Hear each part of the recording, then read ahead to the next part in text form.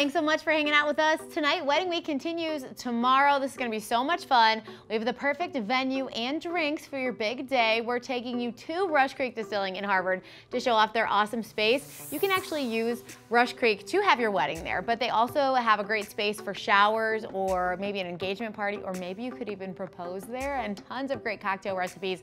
So Spirit Day on location tomorrow. We're very excited for that. And get this, we are going to talk to the very first unmasked contestant from The Masked Singer, which airs tonight on Fox 39. We have the first person to get sent home tomorrow night. You don't want to miss that. One more thing before we go tonight. Yesterday, of course, may have been Valentine's Day, but today is absolutely the best day to grab those discount candy boxes, including Conversation Hearts. Do you know where conversation hearts actually came from? They were initially created in the 1860s. A Boston pharmacist patented a machine that pressed text onto wafer candies in red vegetable coloring, which was the first candy making machine in America. Brach's started making the conversation hearts, so we are all familiar with, in the 1950s.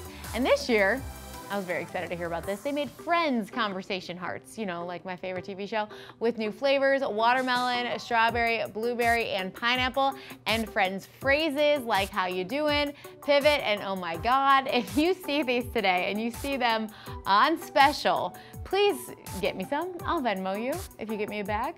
All right, we got another one more thing for you tonight. Let me get these stickers out for you. So weddings can be very stressful and maybe you wanna put a little more vitamins into your life. We have some vitamins uh, to try. These, I think you pronounce this, fungies, I think it's fungies. They have three different varieties.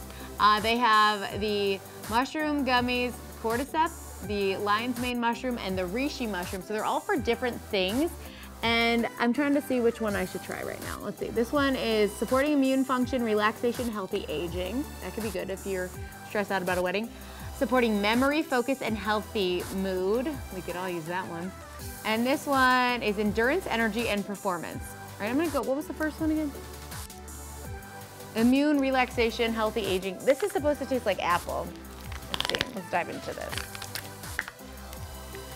Should have gotten this prepared. But there we go. Okay. This smells really good. Okay, I'm here for this. It has, um, I can't pronounce that, Ganoderma lucidium. it's supposed to help with all these things. It's very good. You only need one to help you with that. Is it okay to take two? I think so. All right, what was this one for? Oh, this is mango and pineapple. This one's blueberry and strawberry. I'll do this one too. You can always, you can never have too much healthy mood, right? If the vitamins taste good, I'm always here to take, here to take one. Okay, that's even more delicious. We'll try this one for you on social media. You can get these um, on their website. It's F-U-N-G-I-E-S is where you want to find them. Maybe there's a stressed out bride in your life who could use a little delicious gummies to help her chill. Grab them right now. I'm just gonna chew this. Thanks so much for hanging out today. I will hang out with you again tomorrow night. Bye-bye.